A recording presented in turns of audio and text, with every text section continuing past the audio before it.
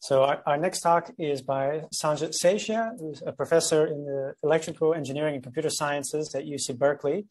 Uh, his research is in formal methods for dependable and secure computing. He's made uh, important contributions in a variety of areas uh, within formal methods, in particular, uh, for example, the satisfiability modulo theories work uh, was just recognized with the CAV award uh, not too long ago. Uh, and more recently, he's been focusing on the areas of cyber physical systems, uh, computer security, robotics, and in particular, machine learning, which he's going to talk to us about today. Sanjit, uh, take it away. Okay, thank you. Can you hear me okay? Yes. And uh, do you see my slides in full yeah. screen? Yeah. Okay, great. Thank you. So uh, thank you to the organizers for uh, inviting me to speak here, and thanks for Daniel for that kind introduction. And uh, thank you all for, for being here today. Um, so at the outset, I, I just want to say that this the uh, the topic of my talk today is something very close to my heart, uh, applying formal methods to uh, machine learning and more broadly AI-based systems, which is a topic that uh, uh, my group has been working on for about a decade now. And today's talk really focuses on the specification side of it. Um, and at the outset, I should also say that um, it, it is perhaps not as closely connected to hyper properties beyond trace properties as some of the other talks in the session are. Um, and uh, and so I asked the organizers about this at the at the beginning, but you know they really wanted me to speak on this topic. So so here goes. But I'll try to point out the connections to hyperproperties uh, as we go along. Um, and also you can find more about this topic at this URL here, learnverify.org slash verifiedai. So the context here is this growing use of uh, machine learning and AI, as we are all aware, is particularly in uh, safety critical systems. Um, in the, the area of autonomous systems, uh, autonomous vehicles, self-driving cars are a very visible example of this where uh, machine learning and deep learning in particular is used in a variety of tasks in the autonomy pipeline. And this is only projected to grow over the next decade. At the same time, there are growing concerns about safety. There have been numerous papers showing that you can uh, cause deep neural networks to do bad things. Um, and there have been, unfortunately, accidents, including some fatal accidents that uh, may potentially involve the failure of AI ML based uh, systems like perception systems. So uh, the question that my group has been concerned with over the last many years is, uh, can we address the design and verification challenges of AI and machine learning based autonomy using formal methods? Um, and I think this is the tool that uh, pretty much all of us in this workshop uh, are focused on. So as an example of the kind of systems, I want to introduce one um, uh, uh, example of the type of systems we're looking at.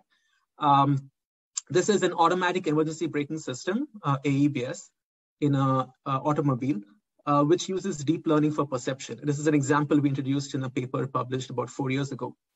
So imagine you have an autonomous vehicle. It has a camera mounted in front of it. Um, and it, let's say that the vehicle is, is in a very simple environment of driving on a straight road in the middle of a desert, one lane in each direction. So that's the kind of uh, picture that it that the camera captures that goes into a deep neural network. The job of this neural network is simply to detect whether there is an obstacle like a car in front or not. Um, and that it passes that uh, to a controller, a conventional controller, which then controls the plant, which is the vehicle dynamics. Uh, the ve- this then causes the vehicle uh, uh state to change, which interacts with its environment, and that loop produces the next sensor input. Okay, so that's an example of uh, where deep learning is used for perception, uh, not for control. Uh, so the goal of the system is to brake when an obstacle is near to maintain a minimum safety distance. Uh, over the years, we have created many models of this system um, in uh, software in the loop simulators, starting with basics MATLAB Simulink, all the way to more full-featured self-driving simulators like Carla, and like I said, the, the focus of this example is on the deep learning for perception. We've used a variety of neural networks um, over the years. So keep that in mind. So what I want to start with first is just give you a broad brush view of some of the challenges for achieving uh, high assurance in these AI-based systems. Um, and this is uh, essentially insights that uh, we published more than five years ago in this paper. Um, and I want to share this with you to give you a more global perspective of the problem before I, I zoom in on the specification matter. So here on this slide, we see the typical view of formal uh, verification, where you start with uh, the three inputs on the left, the system under verification S, the environment of that system E, and the specification phi. And then you're trying to ask if does uh, S when composed with E satisfy phi, and you ideally want a, a yes or no answer, right? Now, in the case of AI-based autonomy, the kinds of systems I talked about in the previous slide, um, the problem of environment modeling is a lot more challenging than it is for typical hardware and software, um, because in part, the it's an open world, right? You don't know even how many agents and objects are in the environment, let alone have uh, good models of their behaviors. So that's one big challenge. The second challenge arises from the complexity of the systems themselves, which are complex in a way that it's, it's different from those conventional uh, verification methods have applied, been applied to, right? So you have these large deep neural networks with hundreds of thousands, if not millions of parameters. Um, and um, uh, and they are really hybrid in nature. They have you know sort of discrete and continuous behavior. Um, then you have the specification question, which is if, if you think about the ABS example, you have a neural network that must detect if something is a car, right? Detect if something is an obstacle that you need to avoid. And how do you even specify that? How do you specify that something is a car, right? So for example, does this picture look like a, is it a picture of a car, right? And in fact, this one is a real uh, vehicle, right? A real car, but uh, at first glance may not look that way. So even coming up with the inputs to the verification problem is hard.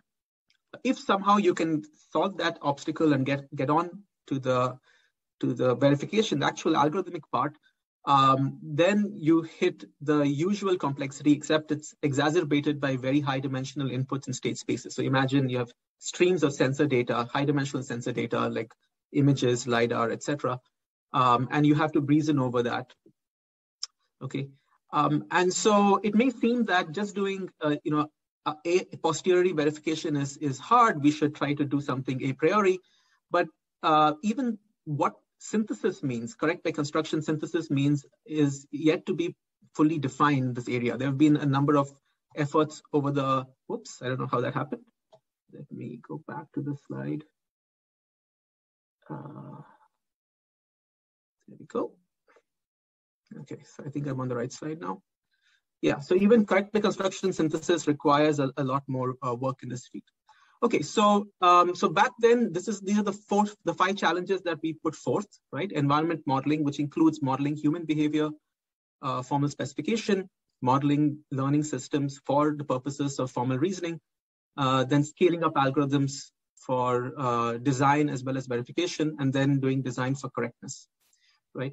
And in that paper, we also listed a bunch of principles which we've refined over the years. And the work that we've done on this topic is listed at this URL.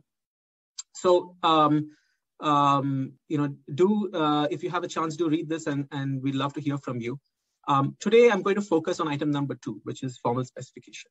And really, it's uh, what I'd like to do today is share with you uh, my own understanding of the um, state of the art for formal specification of machine learning system. So it's not so much as a presentation of the results that that uh, my group has obtained, but more of a survey of this area and uh, to share our understanding with you.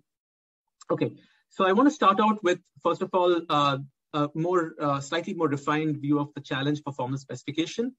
Um, then I'll I'll talk about um, component level specification, that is the types of specifications you want to write for machine learning models like neural networks. Um, then we'll do a slightly deeper dive into one class of specifications, which is robustness properties. We'll talk about the link between component level specifications and system level specifications. And at the end, I'll just touch upon very briefly environment modeling and, uh, and then come back to the principles for verified AI. Okay, so that's the plan for the next uh, 35 odd minutes. Okay, so um, so let's talk about the challenges for formal specification of, of machine learning systems. All right, so the first challenge uh, is something I touched upon in that overview slide, which is uh, hard to formalize tasks. So if we think about it, many of the most impactful applications uh, of machine learning, uh, particularly deep learning, are in perceptual tasks. These are automating uh, uh, human perceptual tasks like vision or speech recognition, natural language understanding, things like that. Okay, so coming back to this question I talked about earlier, imagine you have these three pictures. Um, they're all pictures of cars, right? But if your your uh, purpose is to is to train a, a, neural network to recognize cars on the road for an autonomous vehicle, right? You certainly wanted to recognize that the leftmost picture as a car. The middle picture is is a cartoon vehicle that uh, uh, a child would recognize, right? But it's not necessarily the kinds of cars that you want autonomous vehicle to be trained on. And then the one on the, the right, the one I showed you earlier, um, this is sort of a corner case, right? This is an actual vehicle decorated by somebody who used to be at Berkeley, but the, it would not typically be in a data set that, that you train cars on, right?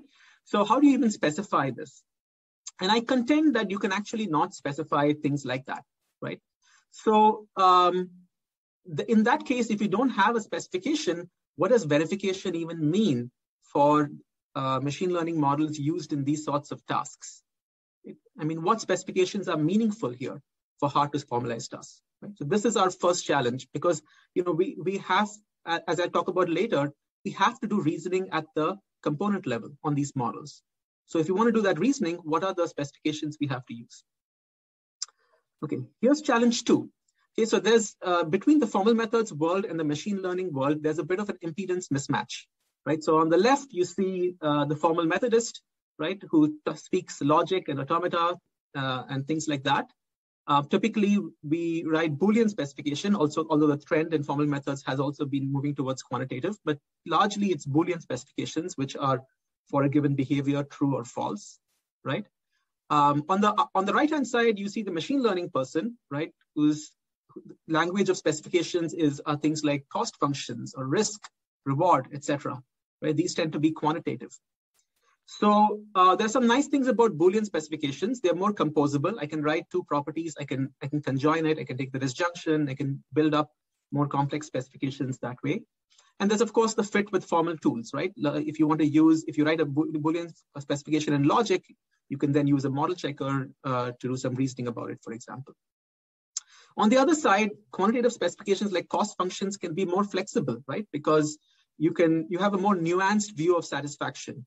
Um, and there's also a nice fit with optimization, which is of course central to machine learning, but also it's uh, as we've seen in falsification, in runtime verification, optimization can be very effective at finding bugs, right? So the next challenge really is how do we bridge this gap between the Boolean specification world and the quantitative specification work. And we need to do this, in my opinion, uh, in order to make it effective for machine learning systems. And then the third challenge um, is uh, data versus formal specifications. So again, in the machine learning world, the way people specify things, in addition to the cost function and risk uh, and so forth, is just using labeled data, right, or unlabeled data, right? You have you basically have data. Data is the specification. That's your ground truth. Um, on the flip side, in formal methods, we write specifications uh, using our usual formalism, right? Uh, temporal logic, uh, automata, things like that. So again, this is yet another gap that we need to bridge. How do we go between uh, specifications that are provided as data and the kinds of specifications we need to use for formal reasoning? Okay, so those are the three challenges. I'm going to come back to these at the end. Um, but now I'm going to take a, a, a, a kind of long detour into a survey of the kinds of properties that I think are really interesting and relevant for machine learning systems. Okay, so the question is what properties of machine learning systems must be ver verified? So um, if we look at a, a, taxonomy of properties, there are really multiple dimensions here, right? So first of all, there's the system level versus the component level uh, the dimension. So uh, in your, in my uh, automatic emergency braking system example, the deep neural network was one component in a bigger system, and typically your your your specification is really on the overall system, right? I want my overall system to be safe. Um, I want the car to get from point A to point B, right, in a timely fashion, right? So those are my overall system level specifications. Um, versus in some other cases, it may be at the component level. Okay, so that's one uh, one dimension. The other dimension is directly relevant to this workshop, right? Which is trace properties versus hyper properties. So there are some uh, properties which are perhaps simpler trace properties that we can we, we we have studied for longer. We have more mature tools and methods, and the others are hyper properties which are relatively newer. Uh, the third dimension is whether it's Boolean versus quantitative, right? Depending on the context, different uh, of these may make sense. Sometimes both. And finally, it's the next is the purpose, right? So what do you want the system to do? What do you want it to be? Do you want it to be robust to attacks? Do you want it to be safe? Do you want it to, to behave in a fair way, right? So there's different purposes. So these are at least four dimensions along which you can classify properties. So what I want to do in the next couple of minutes is just give you examples of uh, different combinations of these attributes, right? So I'm going to focus on the first three here, right? So you've got like two times two times two, you've got eight combinations possible, and I think all of them are meaningful. I'm just going to give you a few examples of these. Okay, so first let's look at a system level Boolean trace property, right? So this is again going back to my example from before of the automated emergency braking system, right? So everything is the same as I, as I said before.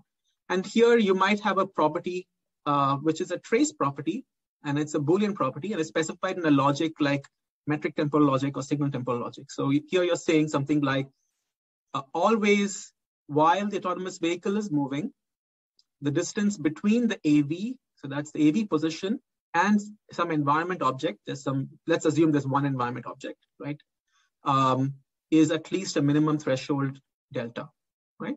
So that's the kind of pro property you would write in, in uh, a temporal logic, a standard temporal logic. Um, and this is actually a reasonable property for this class of systems, right? Um, so uh, that's an example of a system level Boolean trace property on a machine learning system. In fact, the fact that it even uses a machine learning component is, is sort of not relevant here. The property is on the global system. It's over the variables of these components, the environment and the plant, right? Okay, let's look at a component level Boolean trace property, right? So here I have something that looks very similar, except now I have end-to-end control, right? So this is the kind of thing that uh, a lot of people uh, have been, and especially was more popular a few years ago, to do end-to-end uh, control going from sensor data all the way to control inputs of autonomous vehicles, right? Um, so you've got your image X, and you, then you have your control input Y. And what you might like here is some kind of an input-output robustness property. So what you might want to say is, for a given uh, input image X, X1, and for uh, constants epsilon and delta. And then for all other x2, such that x2 is closed within an epsilon, uh, uh, you know, depending on the norm, right, within some epsilon uh, neighborhood of x1, uh, for all such x2, you want the, the difference between the control outputs on those two to be bounded by delta right? So basically what it's saying is if my image changed only a little bit, then I don't expect my control to change drastically, right? So this is sort of the standard input-output robustness property, well studied in control. And this is an example of the kind of property that you might want to write now at the component level, right? Uh, but it also has a Boolean nature to it, okay? Um, let's look at a component level uh, Boolean hyperproperty, right? So here's a, another very common example used in deep learning right? So imagine you have a deep neural network that is used to assign some kind of a rating to applicants for loans. So your input here is a feature vector, which is uh, capturing the loan application. Um, and the output here is the rating assigned to it. Okay, so think of a numerical rating. Um, and so now the neural network itself is this function f of f parameterized by a weight vector w. And uh, you might have a property like this, right? So what this property is saying is that uh, take two feature vectors, x1, x2. Let's imagine they have, this is an application vector, so imagine there's a salary attribute, right?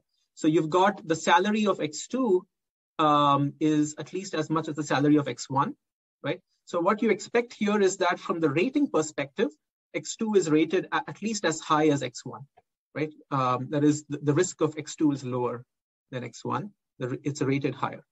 All right, so this is a, what is uh, uh, considered as a, as a monotonicity property, which uh, is, is one of the examples of, of component level properties that are desirable in some contexts. And you'll notice that this is really over a pair of inputs, right? So even though this is this is not a, a reactive system in the sense of running forever, so it's just a transformational system, but it's really a, a property over a pair of inputs to this to this program, right? Which is the neural network. And so this is an example of a very simple component level Boolean hyperproperty. All right.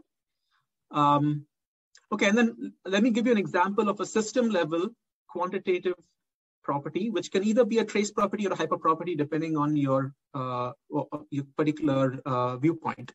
So this is a, a very uh, popular toy example. Uh, first, a classic example, you know, first proposed by Barto et al. in an uh, 83 paper on reinforcement learning. And now uh, part of the library of OpenAI GYM, the cart pole balancing problem, where the task is, you know, as the cart moves, this is inverted pendulum and it has to balance it and keep it upright, okay, within some threshold. So uh, in this, in the specification of the problem, it's a discrete time problem. So every step, uh, you get a reward of one uh, if at that step the cart, uh, the pole is kept upright, right?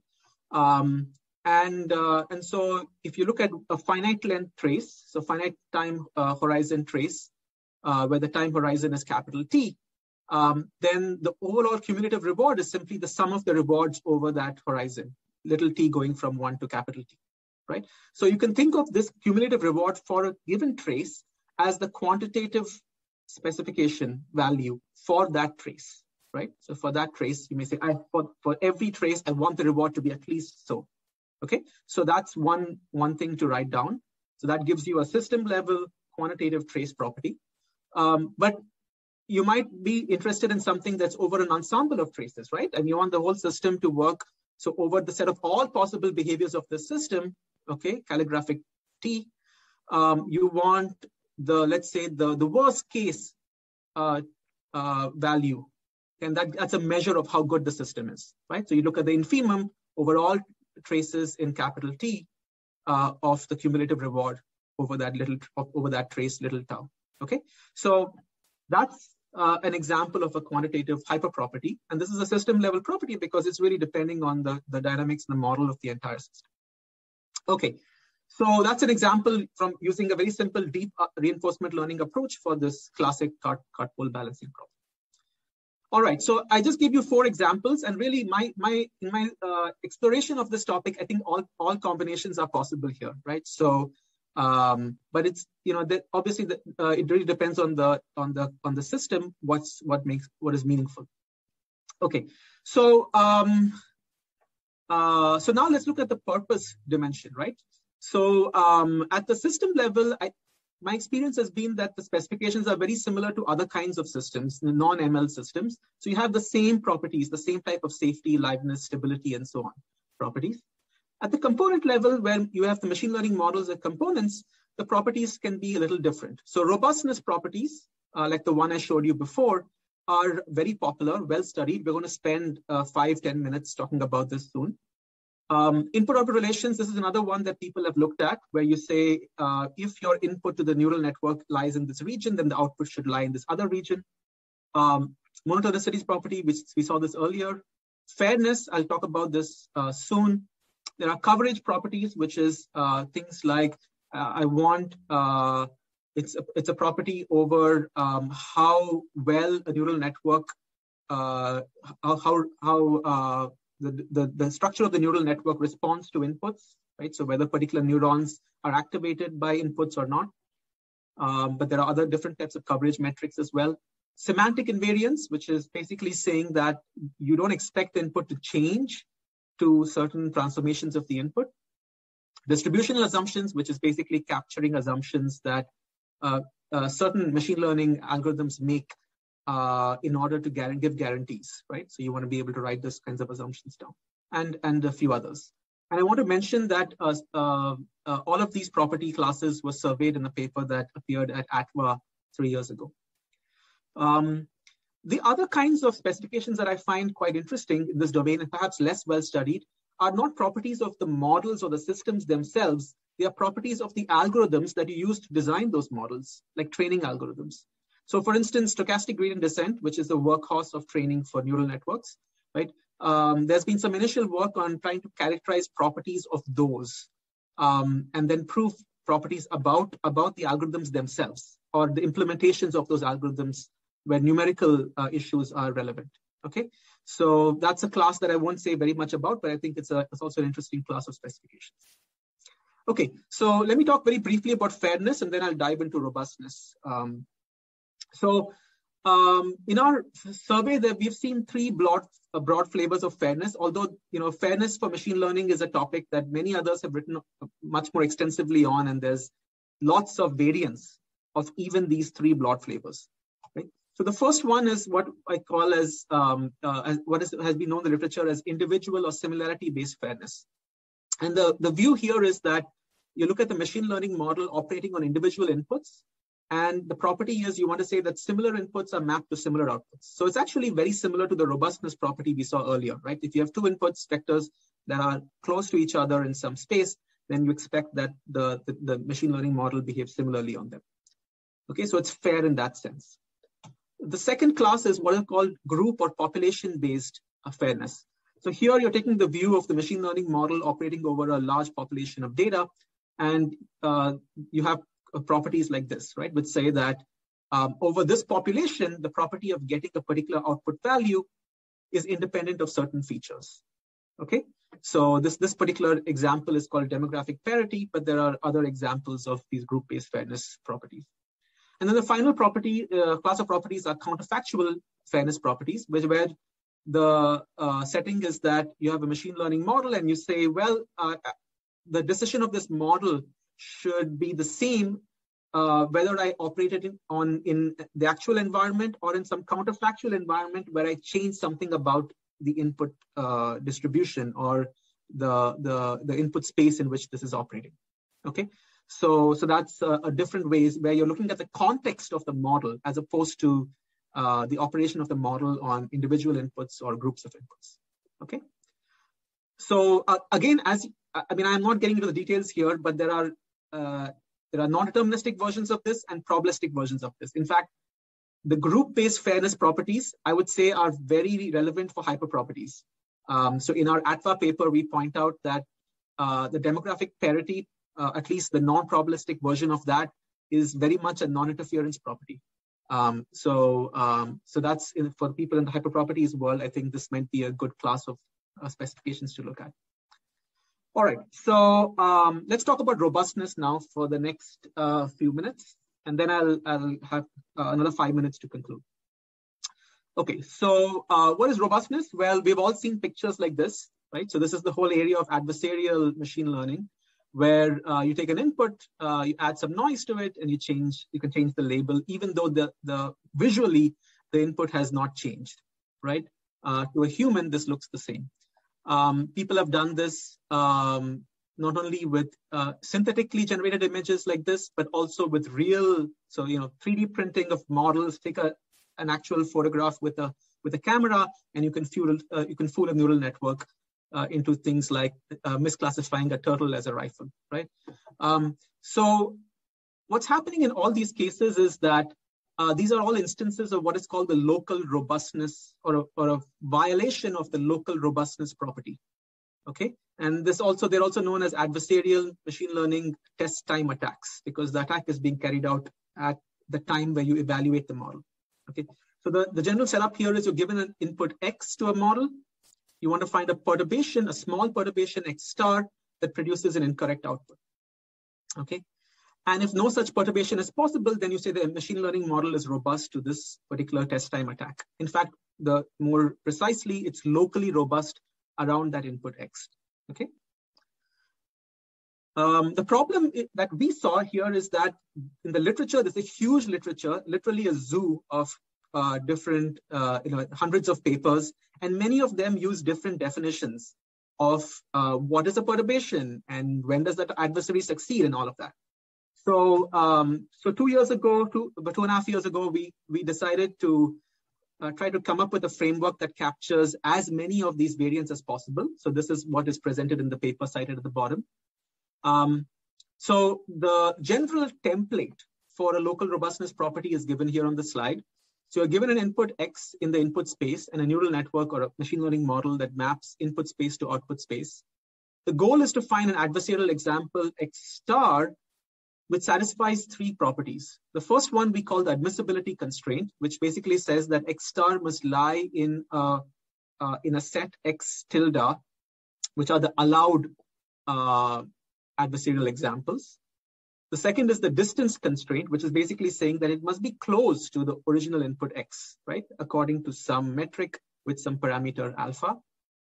And the third one is the target behavior constraint, which is basically saying what the adversary wants to achieve. So the adversary wants to have some behavior uh, of X star relative to X with some parameter beta. Okay, we'll see where these parameters alpha and beta are used. So the, again, admissibility constraint says only valid perturbations are allowed. Distance constraint says perturb within a specified distance. And the last one is the goal of the adversary. And this is sort of the decision problem formulation of local robustness. Okay. So if no such adversarial example exists, we say it is locally robust with respect to these uh, predicates. Okay, now in the literature, people more commonly use optimization variants of this of this local robustness property. So for instance, they'll you have this problem and then they'll say we want to minimize the perturbation. So basically you want to find the smallest alpha, which is the bound on the distance between uh, the original input and the perturbed input, such that some constraint holds. In this case, this is the adversary goal, right? So here it's saying that the label should change but really it's it's the adversary constraint. Okay. Um, so that's one very common optimization formulation. The other common formulation is to maximize the loss. So what you say is there's some loss function, and uh, I want to maximize it. So the the the, the uh, difference in the loss going from uh, the output on x to the output on x prime should exceed beta, but under the constraint that x prime is close to x right? So those are two common uh, goals. So now I want to show you in the next few slides the, how this framework captures many common uh, instances of adversarial analysis. So here, this is one that's the minimum perturbation uh, with targeted attacks. So the picture here shows what's going on. So you have your additional input X.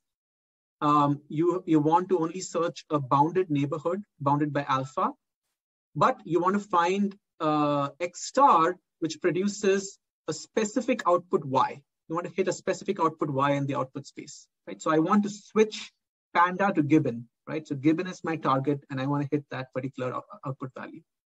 So here you can see in the decision problem, what's happening is you're picking this small r where it's uh, uh, you know p norm bounded by alpha such that the output is y. And then the optimization formulation pretty much follows the same type of thing. Okay, this captures a whole slew of papers in the adversarial ML literature. Okay, um, there's another set of papers that look at pretty much the same problem, except it's untargeted attacks. That is, the only thing that, that differs is that instead of a specific Y, you just want to hit any point different from the original label, right? So I don't care what I get, right? I've, I've got my initial image is, is turtle, label is turtle. I want to flip it to something else, right? Doesn't matter what it is. Um, so the, all that changes is the adversary constraint, right? So I think one of the things that you can get by understanding the space in this way is that, you know, uh, if only one component of the definition of the property changes, a lot of the techniques for adversarial attacks or even robustness may actually be reusable depending on what component of the problem changes, right? Okay, so here's uh, another example. This is uh, the example where instead of minimum perturbation, we're going after maximum loss and uh, you're still doing untargeted attacks, right? So the, the, here the adversary goal is that the adversary wants to make the, the loss function, the in this case, the, the loss function exceed uh, beta. And so here's your, so imagine the, this is showing the, how the loss function evol evolves as a function of x. Um, here's your original loss value right? And you look at some, oh, epsilon should be alpha here. So you look at some alpha region of this and you want to find uh, something that maximizes the loss, okay? Going from X to X star. So that's an example of the kinds of things that um, were done in this paper by um, Alex Madry and colleagues. Um, then there's been another class of attacks where they look at adversarial examples robust to transformations. So here the, the idea here is that you have a set of transformations like geometric transformations like translation, rotation, etc. of an image. And um, what you want to do here is that you, so you're, you're looking at uh, the expectation over the transformation space that the distance between the transformed input, the, I'm sorry, the distance between the original input and the, and the perturbed input should be bounded by alpha even when you transform them, right? So I take my original input, I trans, I perturb it, and now if I if I do scaling or or uh, translation and so on, I still want that uh, that uh, the the proximity to hold, right? And similarly, I have a, a similar uh, uh, constraint over the over the loss in this case. So this is this you know pretty much the same type of um, template works here, of course, that you have a more probabilistic version of it, right? Because we're looking at uh, assuming that adversary can has a distribution over what transformations they can apply, and then you're computing the, the expectation with respect to that um, as a constraint. Okay, and the last one I'll mention is input-output relations. This is something that's very common in the formal methods literature for this area, where uh, a lot of tools have looked at uh, what happens if I look at a region containing my input X and I want to find an X star in that region that produces an output that's outside a valid output set S out, right? So I start an S in, I want to go outside S out, okay? And so that also fits the template that we have where you have uh, these three admissibility, distance, and, and uh, an adversarial constraint. Okay, Great. So uh, if you look at our, our VNN 19 paper, we have a big table. I've shown a part of that table here, which has all the different types of adversaries and you know classified along these dimensions. Um, and um, uh, you can in in our in our view in our experience we can put pretty much any of these attacks into this framework.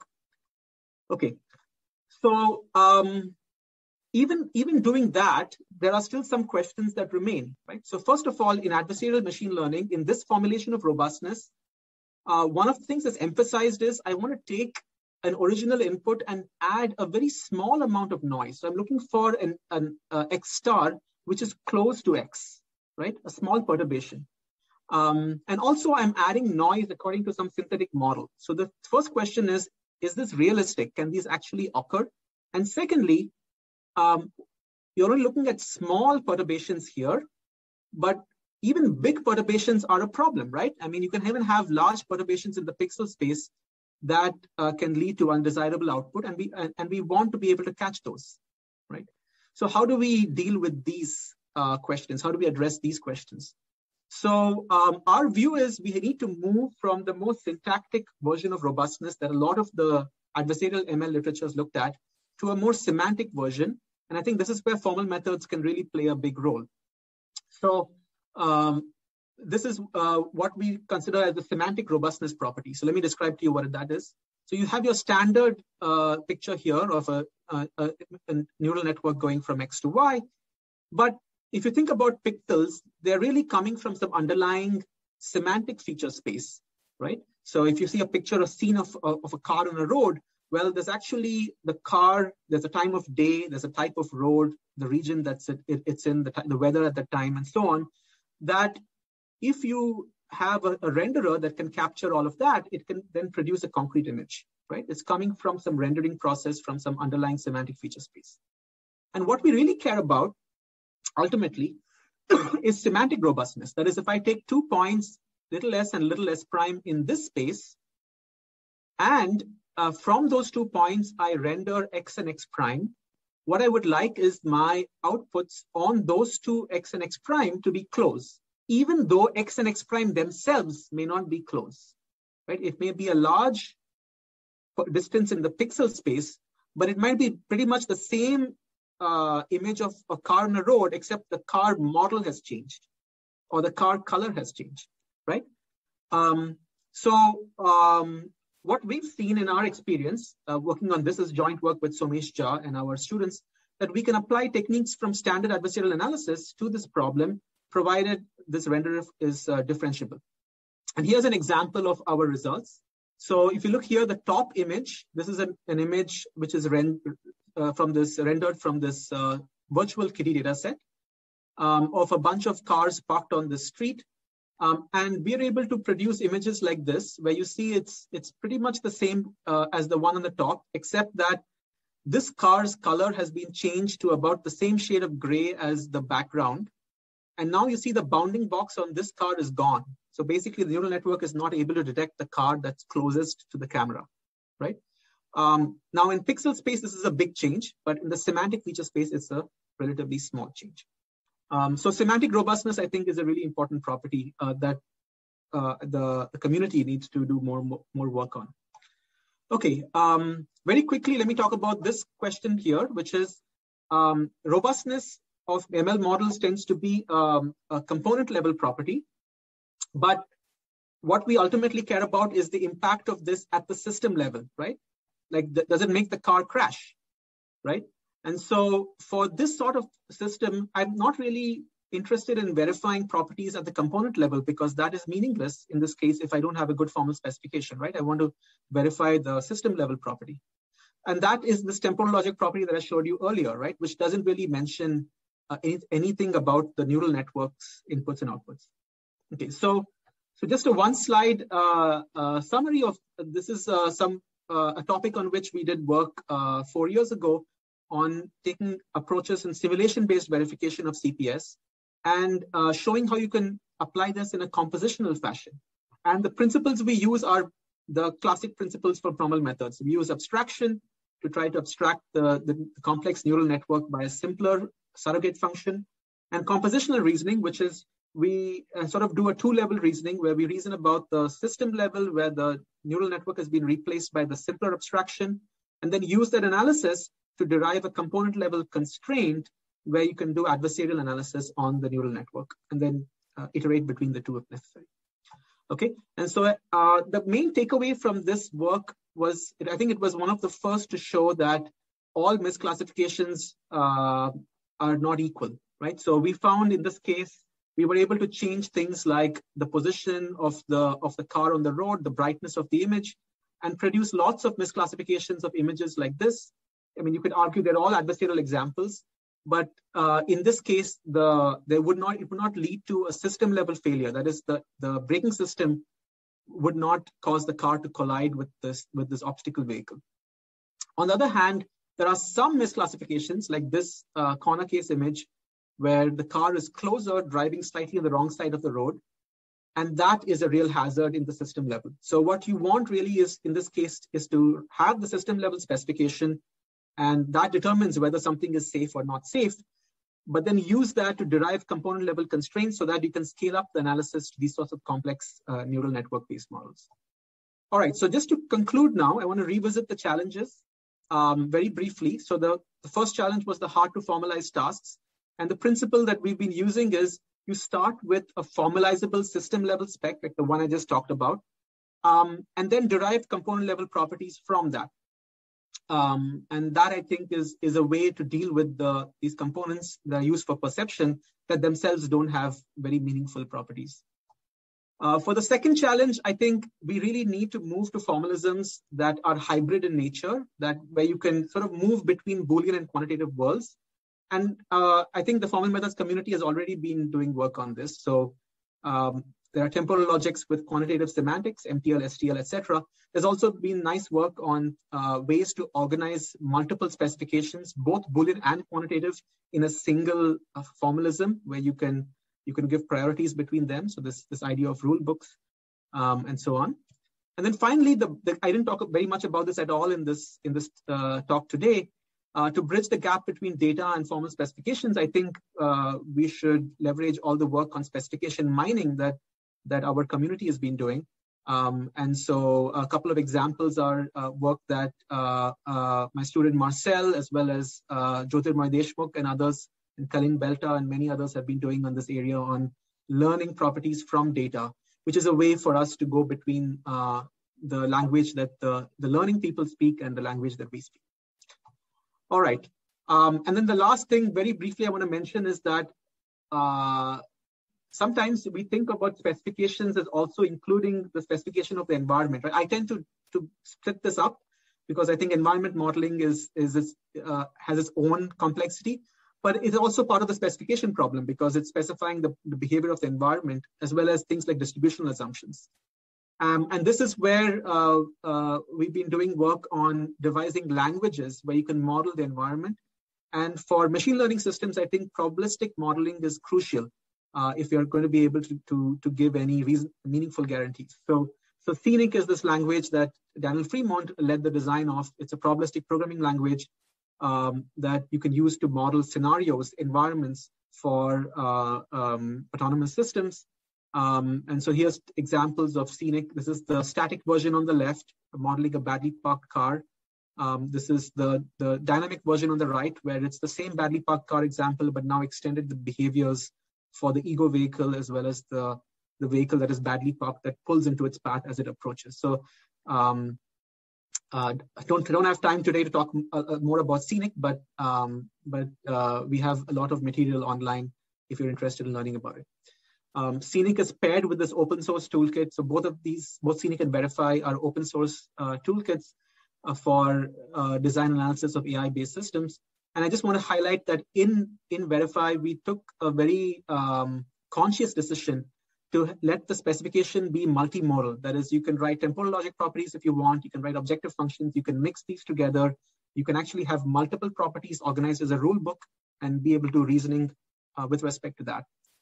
Okay, um, so it's I think it's a it's a nice uh, these tools potentially are a nice playground for us to connect uh, work on specification for hyperproperties as well as um, other kinds of reasoning tools for AI-based systems.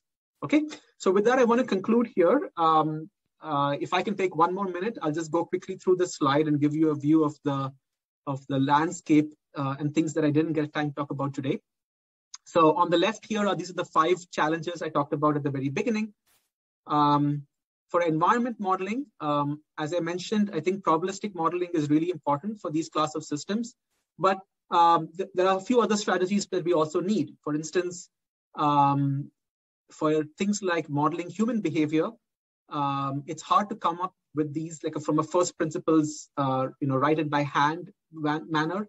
So you often need to learn models from data and then uh, but integrate them with uh, with results from psychology and cognitive science about about human modeling um, and then sometimes we need to be introspective about how we model the environment that is uh, just extract and assumptions that the system makes about the environment in an algorithmic fashion uh, specification i talked about this a lot today already uh, for modeling learning systems i think we need to do we need to come up with new ways to abstract learning components and also model their operation at the semantic level. That is, they have, you know, how they they change the semantic feature space as opposed to the the more concrete feature space.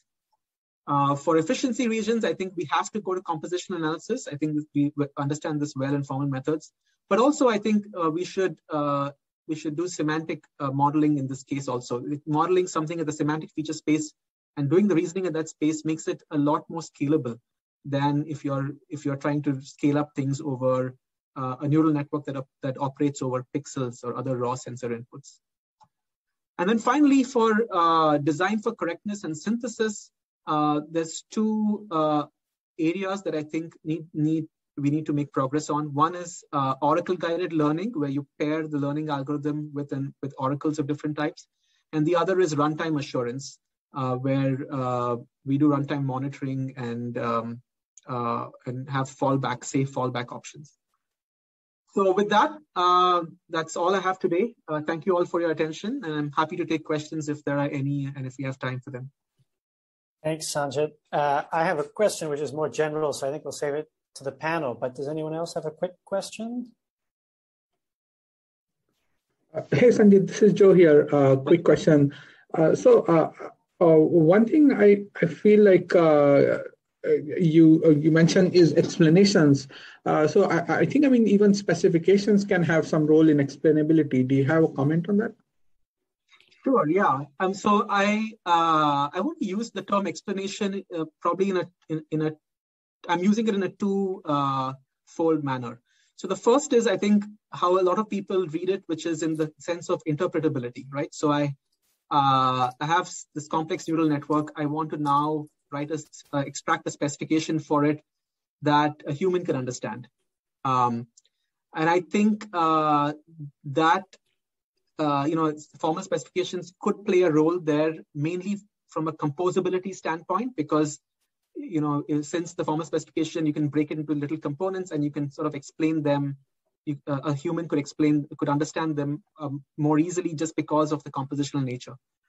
Uh, but I think what what I feel is a more um, impact, potentially impactful interpretation of explainability is more that uh, it's not really in the in sense of human understandability, but more in the sense of analyzability, right? So, I, I mean, if I if I can extract, if I have a model of a neural network as an automaton, uh, then it's potentially easier to analyze it to apply formal tools to it than if I had to deal with the the like the the uh, recurrent neural network directly.